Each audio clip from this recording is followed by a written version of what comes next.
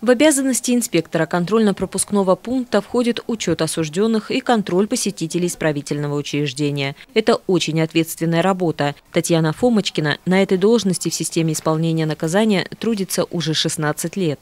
Мой муж здесь работал, вот, и брали на тот момент э, жен сотрудников, ну, старались брать. Вот, ну, я так вот попала сюда, предложили, я согласилась. А вот работа была мне неизвестна, ничего не знакомо.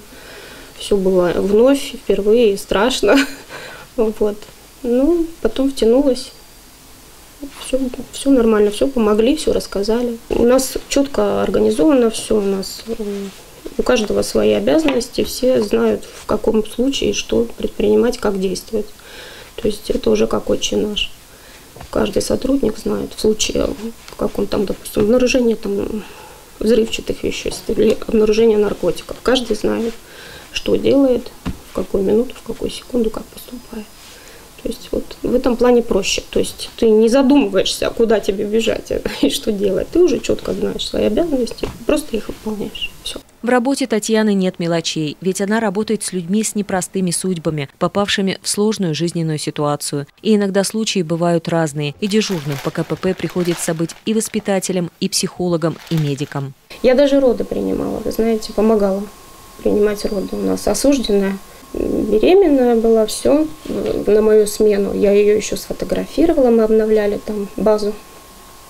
Как себя чувствуешь? Хорошо. Ну, хорошо, хорошо. Ночью Татьяна Николаевна, рожаем.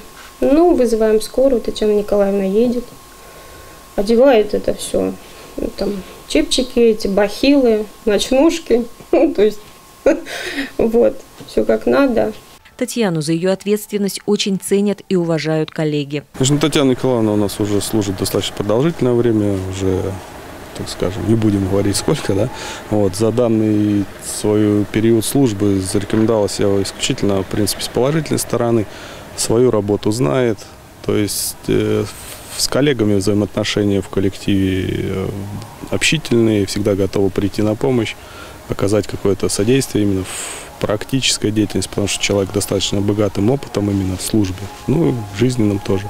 В системе исполнения наказания сотрудникам дают возможность посоревноваться в творчестве, спорте и профессионализме. Ведомство проводит конкурс «Мисс УИС». В 2006 году в Десногорской колонии поселения номер 5 Татьяна Фомочкина стала победительницей. Она с достоинством прошла все испытания, одержала победу и представила колонию на областном этапе. Татьяна – творческая личность, любит рисовать, мастерить руками. Ее работы занимают призовые места в конкурсах и на выставках, а ее дети, их у нее двое, тоже взяли от матери любовь к искусству. Вот такие очень красивые творческие женщины работают в системе исполнения наказания.